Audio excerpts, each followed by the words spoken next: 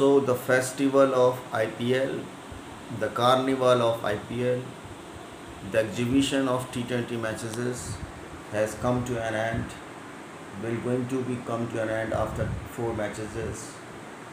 But what I have to say to all my viewers, the players who are playing in T20, that after involving in such a energetic and joyful environment suddenly the viewers can feel like that there is nothing to left now what they have to do? So number 3 6 and 9 these are the numbers of emotions feelings and all.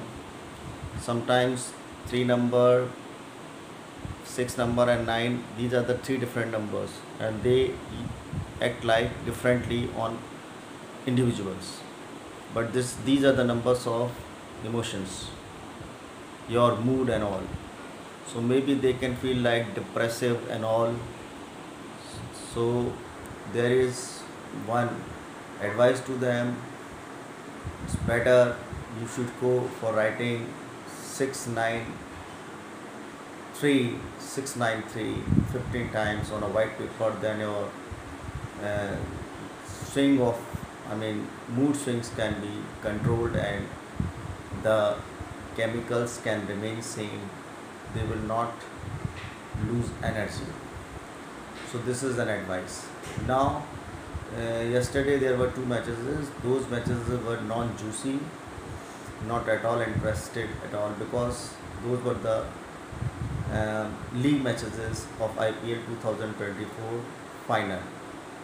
So now the playoffs matches will going to be start tomorrow. There is a match of KKR versus SRH whatsoever the match will be the match will going to be tough but i am looking forward the winning per, uh, team percentage having 60 and the defending i mean the second team is having 40 percent.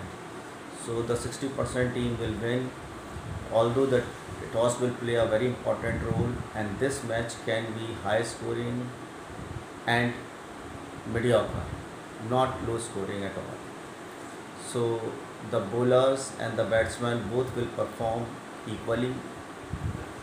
Uh, the second match of playoff is RR versus RCB. In that match, I am finding that RR is having weak numbers and RCB is having good numbers.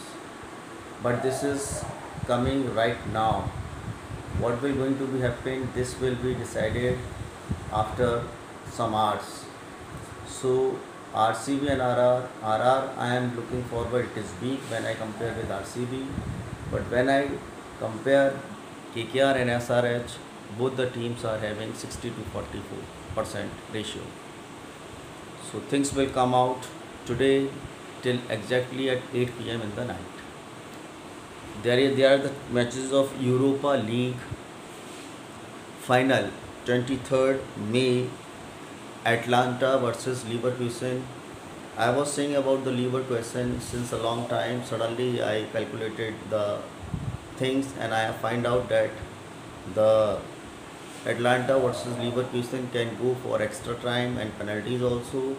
But I am looking what my calculation is saying right now that Atlanta is having advantage to win this Europa League so this is all what I have to say in this video. The people those who have asked me about the horoscope palmistry numerology they are getting the answers and they are enjoying their life with the help of mending and all. Thank you so much for trusting and believing in numbers. And I know numbers give everything